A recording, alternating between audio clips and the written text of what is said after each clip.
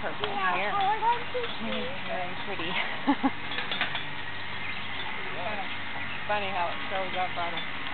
Who knows where great grandma is. I know? also meant so no redheads besides you and your husband.